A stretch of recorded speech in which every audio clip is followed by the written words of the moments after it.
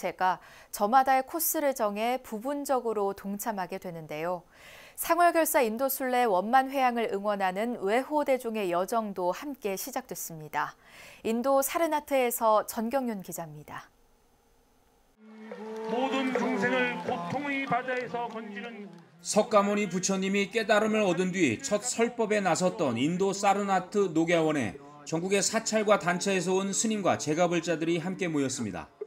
이곳에서 열린 상월결사 인도 순례 입제식에는 108명의 공식 순례단은 물론 인도 네팔 순례 동참을 신청한 전국 사찰의 스님과 신도들도 함께했습니다. 해남 대흥사회주 보선 스님과 전 조계종 총무원장 원행 스님, 중앙승가대 총장 월우 스님, 월정사 주지 정념 스님, 정토의 지도법사 법륜 스님 등 종단의 원로와 중진 스님, 서울 봉은사 등 각 사찰 신도들이 대장정에 나선 순례단의 첫걸음에 힘을 보탰습니다. 해주 자승 큰 스님을 비롯한 순례자 여러분들께 건강과 그 좋은 일만 가득하시기 기원하겠습니다.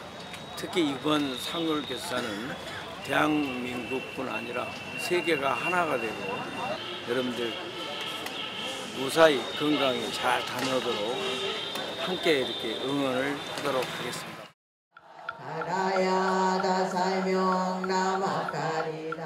BBS 불교 방송도 평창 극락사주지 자용스님 등을 지도법사로 250여 명의 인도 네팔 순례단을 모집해 순례단 본진의 순례 여정을 외워하며 릴레이 동참에 나섰습니다.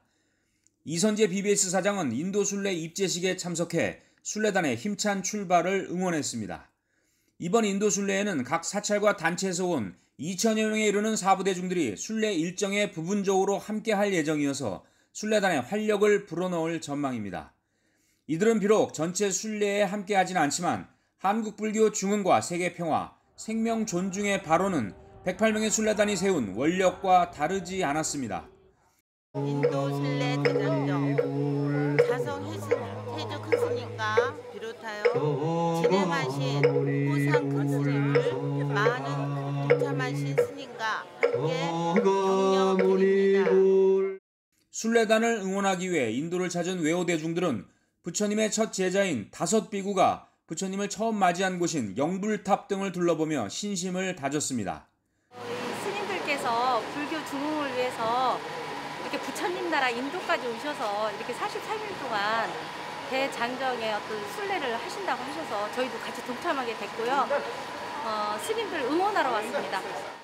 인도 순례를 응원하기 위해 부처님 성지를 찾은 불자들은 순례 14일째인 오는 22일 석가모니가 깨달음을 얻은 보드가야 마하보디 대탑에서 조계종 총무원장 진우스님 순례단과 함께 부처님 성도지 기도 법회를 봉행할 예정입니다. 상월 결사 정신은 지난 2019년 상월 선언 천막 결사를 시작으로 2020년 국난 극복 자비순례, 2021년 삼보사찰 천리순례, 지난해 평화 방생순례에 이어 부처님처럼 직접 도보로 길을 걷는 인도 순례까지 이어졌습니다. 함께 동참하지 못하지만 마음으로 항상 같이 걷고 같이 응원을 하겠습니다. 모든 순례단 스님들과 제가자 신도분 모두들이 무사히 어, 한국에 돌아올 수 어, 끝까지 어, 건강하고 마칠 수 있도록 부처님께 기도하겠습니다.